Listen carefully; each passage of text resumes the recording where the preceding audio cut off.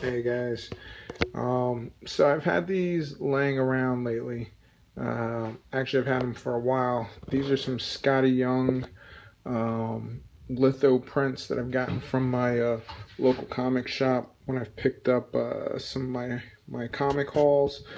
Um, I really like Skottie Young.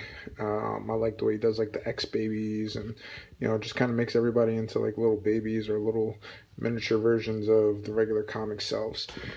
Um, so I had all these laying around and I was trying to figure out what I could do with these and finally I had an idea.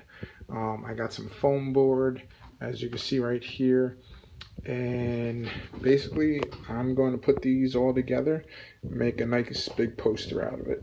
All right so uh, let's take a look and see how this is going to come out. All right so here's my uh, Skottie Young uh, litho poster. Um, I combined it all the lithos that I had um, into one big poster.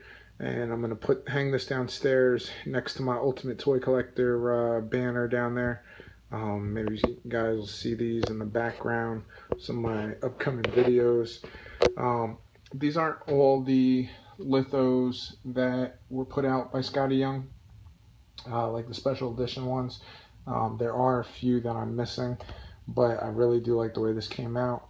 Uh, again, like I said, I like Skottie Young's style, and I like that I was able to kind of squeeze this together into one nice big poster. So if you got any of these laying around, uh, here's a nice easy idea that you could do. Um, slap it on some foam board or, um, you know, yeah, basically the, I, I put it on the foam board and then I laminated it over and it's nice and sturdy.